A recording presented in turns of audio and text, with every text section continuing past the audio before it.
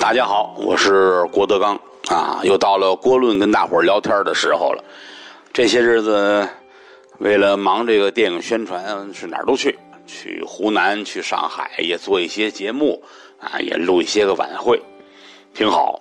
这个拍电影跟说相声还真是不一样啊。这个拍电影呢，分两个阶段，在拍电影的过程当中，其实。呃，是要以一个匠人的状态出现。所谓的这个匠人，就是工匠啊，要以工匠的精神去拍戏。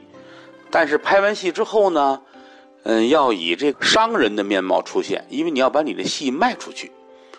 我虽然说这个也在文艺圈这跟着大伙儿一块玩这么些年，但其实是自己独立的去运作电影，要把一个戏从制作到卖出去，其实之前也并不是很熟悉。这一接触才发现，哎呀。也只能说这行嗯有特点，也挺好玩但其实这真是很累，跟人打交道，跟一个独特的行业打交道，也真是其乐无穷。一忙这事儿呢，人家这个郭论的编导就说说您注意身体，您不要那什么。我就知道他不是为了注意身体劝我，他是告诉我得给他录东西了啊，该催着录这郭论了。您才明白呀？我说你放心，我这个都耽误不了啊。大事小事都得干，挺好。那么今儿聊什么呢？就是也是是昨天一帮人吃饭聊天其中有一个朋友问我，他说：“那个都说你爱读书啊。”我说：“你说怎么着吧？”说这个有一个词儿叫窃玉偷香，老听你说评书啊，说单口相声里边说说这小子呀如何如何，窃玉偷香，窃玉偷香是怎么讲啊？我给他大概念叨念叨。然后今天突然间我就想起来，我说这个其实挺好，这个题目好像也没人说过。那么今天呢，我就给大伙讲一讲这个窃玉偷香。讲不敢说，我水平有限，就是跟您各位咱们一块聊一聊。我把我知道的啊，我看的书，我听人说的，我大概念叨念叨。如果您觉得哎哪儿不好，咱们一块儿探讨。您让我呢多长着能耐，长着知识也挺好。窃玉偷香。其实现在要想把这个解释清楚呢，他就得拆开了说。窃玉是窃玉，偷香是偷香，但其实呢，这是从中国古代的这个四大风流啊，从这儿传出来的。四大风流啊，说的是四个人：沈约受邀，韩寿偷香，相如窃玉，张敞画眉。这么四个人，四位风流才子啊，这四个人留下来的。风流轶事，但是这里边头一个人，比如说沈约受邀，其实这个说的不对啊，因为您一想象中说风流韵事，肯定是才子佳人浪迹江湖啊，一男一女两个人怎么感情怎么好，谁爱谁谁爱谁啊，这个呃一个风流的故事。但其实这沈约受邀他没有故事，相反他跟风流俩字儿他也扯不上关系。也不知谁就把人家沈大爷跟那三位就搁在一块了。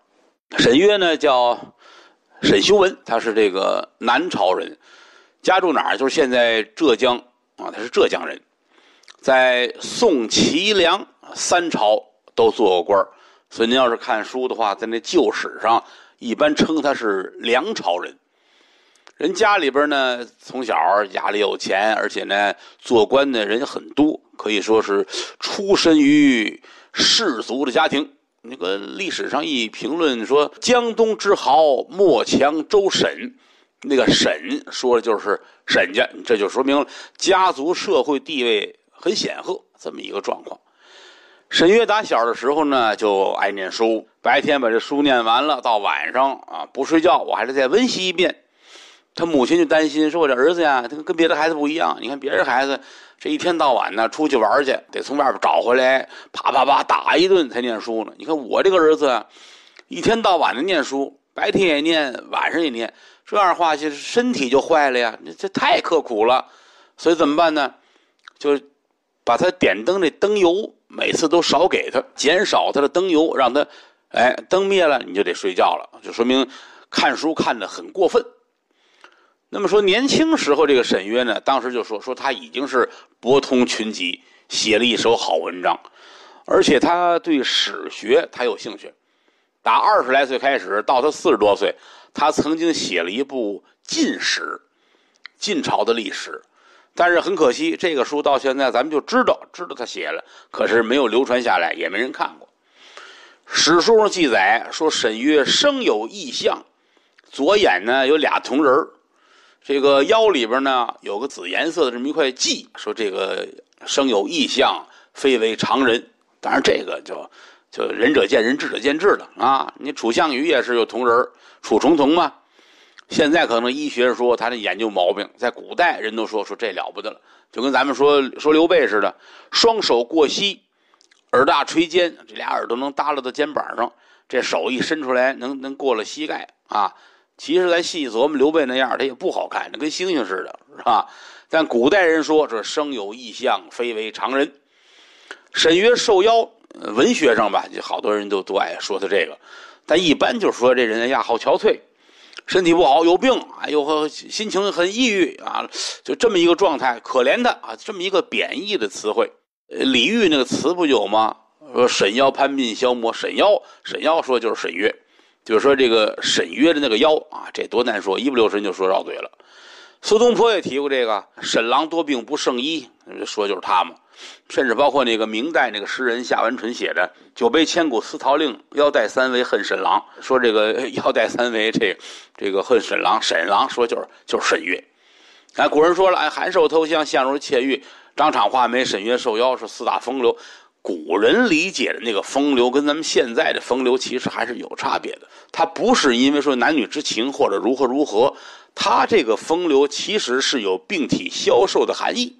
这里边您如果说，呃，把沈约跟窃玉偷香的风流放在一块这个就委屈他了啊，他跟风流不挨着。咱也不知当初是哪位大爷就把这四位搁在一块了。但是除了沈先生之外，剩下那三位跟这个呢还是有关联的啊。你这里边，比如说窃玉偷香，偷香这会儿可能好多人都知道这个韩寿偷香，韩寿是。西晋时候的那么一个官儿家里边好几辈儿都是做官的。西汉初年，诸侯王韩王韩信的后代，这个不是那个咱们说那个未央宫斩韩信，我们唱那京剧那韩信，不是那韩信，就同名他呢是西晋的开国功臣贾充的女婿，是他的姑爷。呃，晋书上说韩寿说美姿貌，善容止。美姿貌，善容止啊，长得好看，个头也好，还会捯饬。现在说这主呵，风流倜傥，玉树临风啊，就说这这么夸他吧，说这么个意思。嗯，那么说怎么叫偷香呢？这有一故事了啊。西晋的初年，晋惠帝那皇上晋惠帝，晋惠帝的老丈人贾充招来这么一个办公室的工作人员，叫韩寿。把这韩寿招来，大伙一瞧，哎呀，说这韩寿长得帅、潇洒，要多好看多好看，啊！而且呢，办事啊，写个东西啊，方方面面的就很完美。这么一小伙子，就给人这个贾充在手底下这个议事，跟着一块干活啊，跟着一块打工什么的。这贾充呢，就是大家来吧，这官员们手底下这些个办公人员啊，都来吧。CEO 啊，UFO 啊，是吧？嗯，ICO 啊，反正甭管是什么吧，就这些个大官小官都来。每次说这官员们在一块儿开会的时候，窗户外边老有人偷看。谁呢？贾充的小女儿叫贾武，那不是甲午战争那个贾武的，呃，姓贾的贾，中午的午。这个小姑娘呢，就打那窗户看，啊，她爸爸开会呢，一眼就看见这韩寿，哎呦嚯！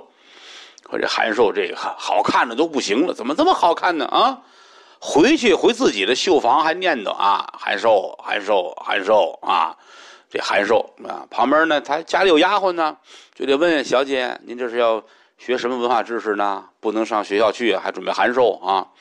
啊，这这是我开玩笑了哈，哎，就说，他就姑娘就说了，我今儿看见我爸爸开会了，那坐了一屋人，有一个韩寿长得又这么好，那么好，嗯。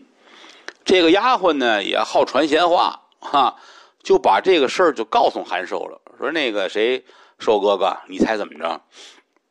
家里那小姐啊，可瞧上你了。小姐一般人看不上，就爱你，啊。韩寿说：“小姐长什么样？呼，小姐长得可好看了啊，又狗狗又丢丢啊，脑袋上戴好多花儿，搁俩枣就是切糕，没那么好看的。”那么说呢，就把韩寿说的也动了心了，说：“那什么，我能不能见见小姐呢？”啊，丫鬟说：“这可以，我愿意给小姐帮这个忙吧。”啊。这咱不是说评书，咱也不是说单口相声，这个过程我就不细说了啊。反正双方就约定好了，说一个日子哪天哪天什么几点，咱们俩人得见个面到了这天，这肯定得是夜里边他不能白天去啊。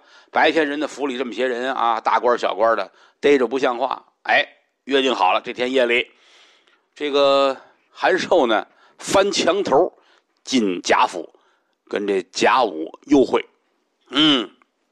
太聪明了，哎，就这个事儿干的呢很巧妙。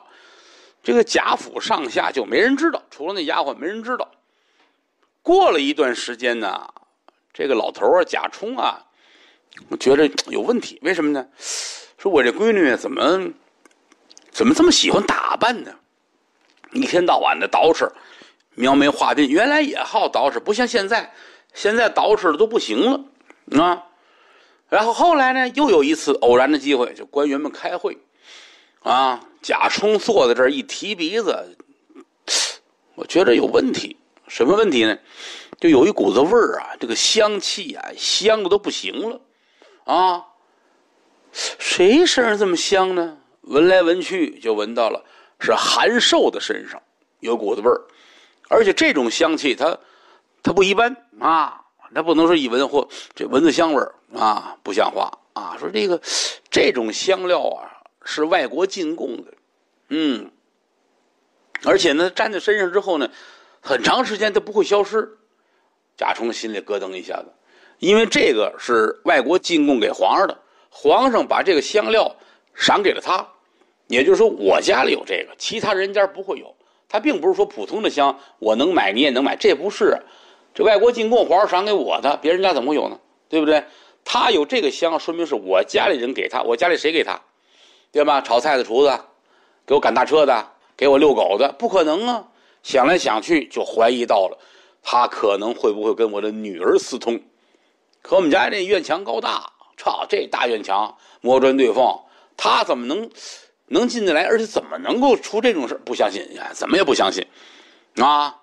但是呢，这老头聪明啊！你想做了那个官了，就假装说：“哎呦，府里边丢东西了，你们查查吧，呃，屋里屋外都看看，院墙也看看吧，啊，找吧。”就家里的管家呀，负责查院墙了，就开始四处查，查来查去，最后说了：“说跟您回，其他的地方没有任何异常情况，只有东北角那院墙，好像看着有人爬过，啊。”他这院墙高啊，他按说这不可能有人能能怎么怎么样啊，是吧？这原文就说了，说无余意为东北角如狐狸行处，就别处没事只有东北角如狐狸行处，就像狐狸打那出来进去似的。那谁叫狐狸上墙啊？是不是？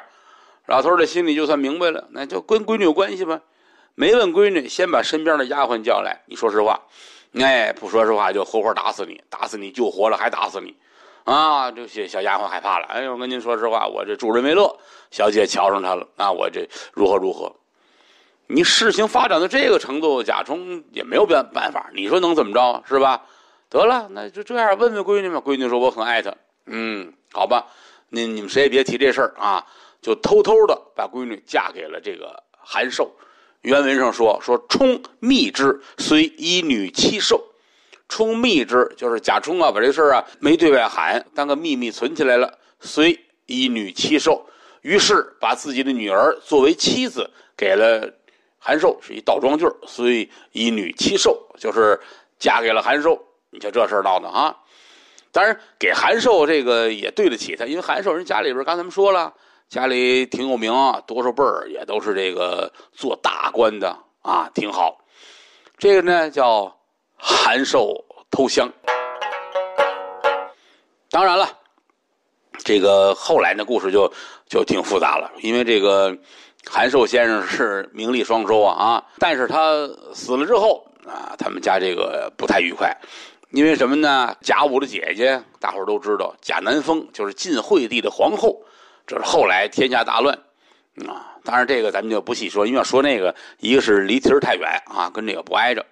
到了清朝嘉庆年间，韩寿的墓啊，在一个古井里边发现了啊。一直反解放之前，韩寿的墓表都长期的这个收藏在洛阳千香庵村古阁，现在存的这个关林。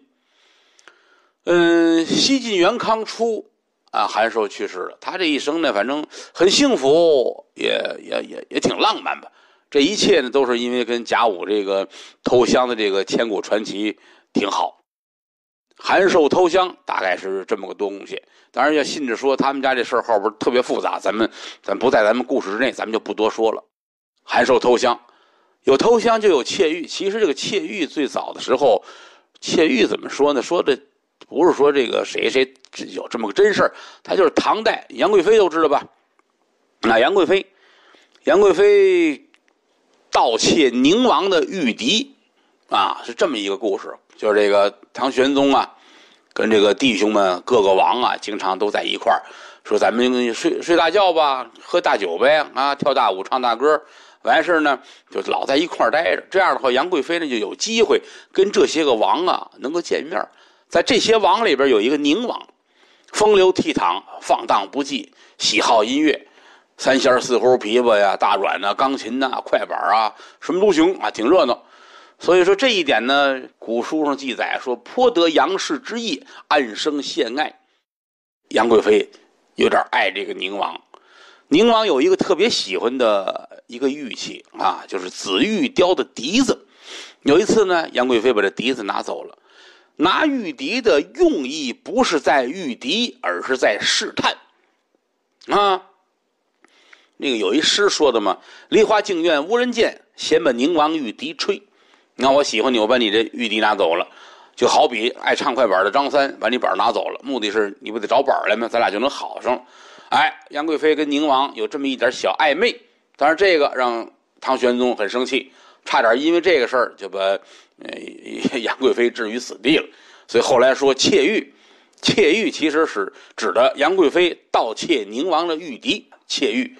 但是在四大风流里边呢，我们指的不是他，指的是相如窃玉。相如，相如就是司马相如啊，司马相如就不用说太多了哈，四川人，汉朝的文学家。他本来呢不叫司马相如，他叫司马长卿，长卿。他因为很羡慕战国时候那个蔺相如，您看过京剧，您知道咱们有这个蔺相如啊，廉颇三次挡道那个故事，那里边那蔺相如很厉害。哎，司马长卿觉得，你看这相如这个人很厉害，哎，因为仰慕他，就把名字改了啊，改名叫司马相如。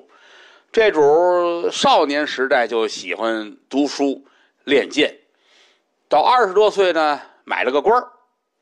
啊，跟了汉景帝的身边，这官也不大，而且也没什么正经事儿，所以呢，他总有这个我这个不遇知音呢啊，我在这待着，我没意思，没意思干嘛呢？得了，我我后来我不干了，借病辞官啊，我身体不好，我辞官，我出去玩去，去哪儿呢？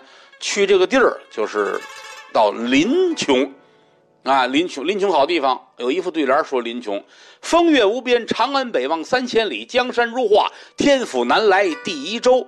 啊不去还则罢了，到这儿碰见卓文君了。